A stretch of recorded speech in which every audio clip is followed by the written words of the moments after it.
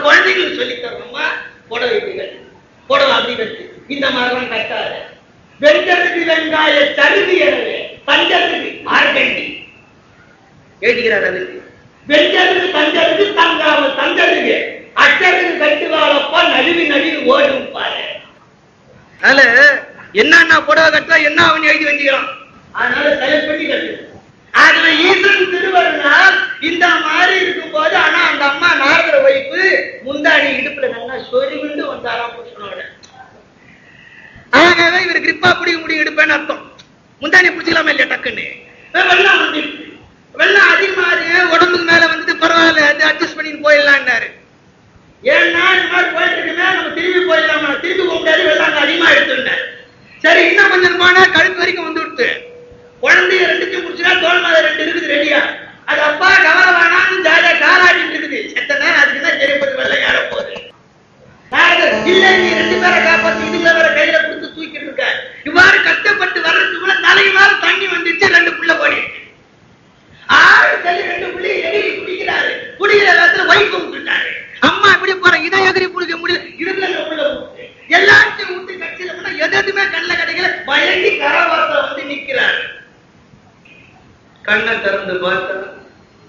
நந்தீஸ்வரர் நிக்கிறார் போல நாரதா ஜலம் கேட்டனே இன்னும் ஜலம் கொண்டாடலையேன்னாரு. சுவாமி என்ன சொல்ற? ஜலம்? அப்பதான் அவர் நினைவு வந்து ஒய்ஃபுக்கு எல்லாம் விட்டமேன்னு இதற்குள்ள முப்பத்தஞ்சு ஆண்டுகள் ஆகி போச்சான் அப்ப நந்தீஸ்வரர் சொல்றாராம் ஒரு நாழிகை என்னை காக்க வைத்தனையே. ஒரு நாழிகை ஆச்சா நந்தீஸ்வரர் தப்போம். ஒரு நாழிகை ஒரு நாழிகை எவ்வளவு பந்தவை எவ்வளவு பாசம் நந்தீஸ்வரர் சிரித்தாராம். நாரதா உலகில் குறைகளே இல்லாத மனிதர்கள் யார்? சுவாமி இன்னும் பிறக்காதவர்களா உலகில் குறை இல்லாத மனிதர்கள்? நாராம். பிறந்து இன்னும் பரேடு இன்னும் பிறக்காதவர்களா உலகில்? குறைகளே இல்லை அப்பா இனி பொருள் வேணாம் இன்னும் பிறக்காதவர்கள் தான் உலகில் குறைகளே அற்றவர். பிறந்தவர்கள் எல்லாம் பிடி சாம்பலாய் போவாரு. அப்பா எனக்கு தெரியாம போயிடுச்சு. குறைகளே இல்லாத மனிதர்கள் பிறவியே இல்லாத மனிதர்கள். ஆகவே பிறவி எடுத்தவர்கள் எல்லாம் பிறவி எடுக்காதவர்கள்னா ஈசன் திருவடியை பற்றும். ஒருத்தர் கேட்டாரு. ஏழை சாம்பலை பார்த்தா பிடி சாம்பல்றார் பணக்கார சாம்பலை பார்த்தா படி சாம்பலான்னு கேட்டார். ஏன்னா பால்கோவா சாப்பிடுறாரு பாலையும் பழமும் சாப்பிட்டு நாச்சு மரத்தை வளர்த்தாக்க ஒரு படி சாம்பல் அவர் அதுவும் பிடி சாம்பல் தான். மன்னாதி மன்னர்களுக்கெல்லாம் பிடி சாம்பல் முடி சார்ந்த மற்றும் உள்ளோர். முடிவினர் பிடி சார்ந்ததாய் வந்து மன்னாவதும் கண்டு. பின்னும் இந்த படி சார்ந்த வாழ்வை நினைப்பதல்லால் பொன்னின் அம்பளவா அடி சார்ந்து நான் உயிர் என்று அறிவார் இல்லையே நறுபட்டத்தார்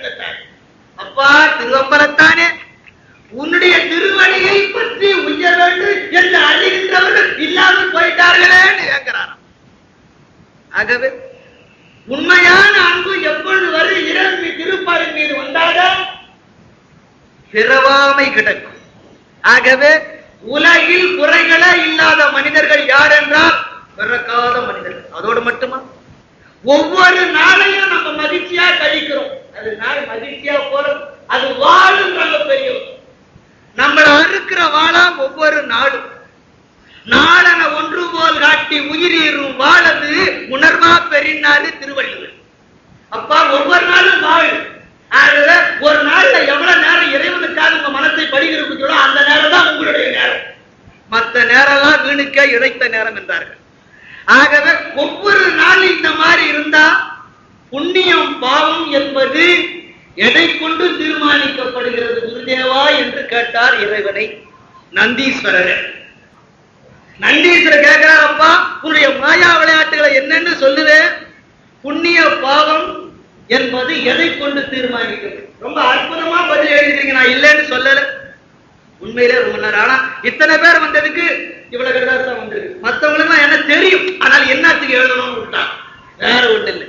ஆகவே நந்தீஸ்வரர் சிவனை பார்த்து புண்ணியம் பாவம் என்பது எதை கொண்டு நிர்ணயிக்கப்படுகிறது என்று கேட்கிறார். புண்ணிய பாவம் எதை கொண்டு நிர்ணயிக்கப்படுகிறது? எல்லாரும் என்ன சொல்றாங்க? முற்பிறவில செய்தது இப்பிறவிலை செய்தது. அவங்க செய்கிற சில பேர் எழுதுகிறாங்க நாம் செய்கின்ற செயல்களை பொறுத்து புண்ணிய பாவம் நிர்ணயிக்கப்படுகிறது எழுதியிருக்கிறாங்க. இதை சொல்லும் போது ஒரு சம்பவம் நினைவு வருது. எம்பெருமான் திருவருளால் தான குரவன் என்ற ஒரு வேடல் தொழிலோ வேட்டுவ தொழில். பல உயிர்களை கொல்வது உண்பது குடும்பத்தை கவனிப்பதுதான் தொழில் அவனுக்கு. அந்த வேடன் அற்புதமாக தண்டகாரங்க காட்டில் வேட்டாடிட்டு இருக்கான். அவன் அற்புதம் வே- ஒரு நாளில் குறைஞ்சு எத்தனையோ அனிமல்ஸை பார்த்தோன்னு அடிச்சிருவான். அந்த மாதிரி இருக்கிறச்ச அவன் ஒரு நாள் வேட்டையாட வரும்போது ஒரு அனிமலும் கிடைக்க மாட்டேங்கிறது. அந்த மாதிரி கிடைக்கும் போது அந்த தாண்டகாரன்றவர் என்ன சொன்னார்? பகவானே இன்னைக்கு எனக்கு குழந்தைகளுக்கும் உன் ஒய்ஃபுக்கும் சாப்பாடு போடுறதுக்கு வழி இல்லையே. நான் என்ன பண்றது? எனக்கு ஒரு அனிமலும் கிடைக்கலையே. அந்த நேரத்துல ஒரு பெரிய சப்தம் கேட்டது. நிறம் தர கருத்தும் குரம் கொண்ட காலையிலே அறம் கொண்டு அழித்து வந்ததப்ப வரம் பெற்று வந்ததென்ன டைனாசிராஸ்னு ஒரு அனிமல்ஸ் இருக்குது ரொம்ப காலத்துக்கு முன்னால. அந்த டைனாசிராஸ்னா அவர் ரொம்ப ஹியூஜா இருக்கும். அதெல்லாம் வரம் பெற்று வந்த மிருகங்களாம். ஆனால்தான் அறந்தனை தந்து வரம் பெற்று வந்த மிருகங்களே என்று சொன்னாங்க அந்த மாதிரி ஒரு பெரிய மிருகம் வந்து நிக்கிறதா பார்த்தான் இந்த மாமிசம் குறைஞ்ச ஒரு மாசத்துக்கு நம்ம பதம் படுத்தி சாப்பிடலாம்னு வச்சான் செத்த நேரம் யோசிச்சா இது அடிக்கலாமா வேணாமா? ஆனா அந்த மிருகத்துக்கு ஒரு டிஃபெக்ட் என்னன்னு கேட்டேன்னா கண்ணு தெரியாது. குருட்டு மிருகம் தடித்து வந்தது. அறுத்து இவனை தேடி பார்க்குது. கொஞ்சம் கொஞ்சமா மோந்து மோந்து பார்த்து கண்டுபிடிக்க போகுது. அடிச்சு முடிச்சு.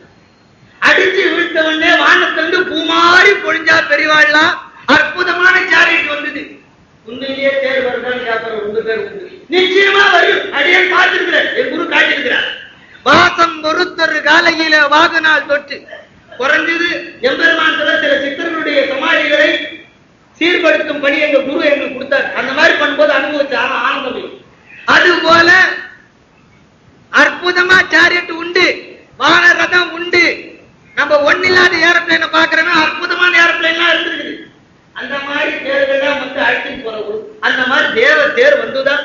இவனுக்கு ஒன்னும் புரியல. ஆச்சரியமா பட்டான். இது என்ன?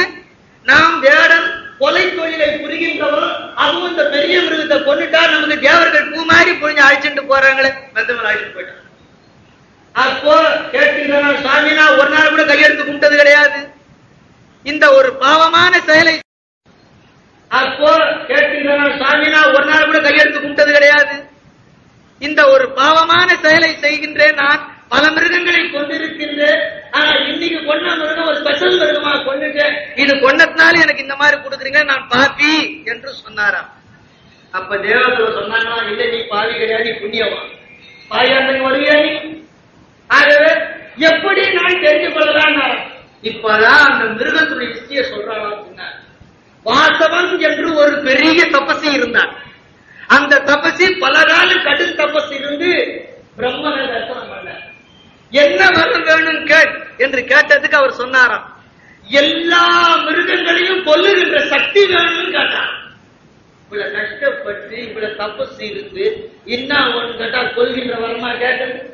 எல்லா மிருகங்களையும் இது கொண்டுட்டு வர்றதா இந்த தப்பு அப்பதான் சொன்னாராம். நீ துர்மிருகமாய் பிறப்பால் உன்னை கொல்பவன் புண்ணியவான் அறிவாயேனா ஏன்னா அந்த மிருகம் உயிரோட இருந்ததுன்னா இன்னும் பல கோடி மிருகங்களை கொல்லும். இவன் ஒரு நாளைக்கு பத்து மிருகம் அஞ்சு மிருகம் தான் கொல்லுவான். அது கால்குலேஷன் பண்ணி ஸ்டாட்டிஸ்டிக்கல் டேட்டா எடுத்து பாத்தீங்கன்னா இவனை விட ஆயிரம் மடங்கு அதிகமா கொல்லும். ஆகவே கொடிய பாவத்தை கொல்லுகின்ற ஒரு மிருகத்தை நீ கொன்றதான் புண்ணியவானாய் மாறினாய். இப்பொழுது எப்படி தெரிகிறது? புண்ணியம் என்பது உங்களுடைய செயல்களால் கிடையாது. செயல்களின் விளைவை வைத்துதான் புண்ணியம் பாவம் நிர்ணயிக்கப்படுகிறது. புண்ணியம் பாவம் என்பது நீ செய்கின்ற செயலால் கிடையாது. செயல்களில் விளைவால்.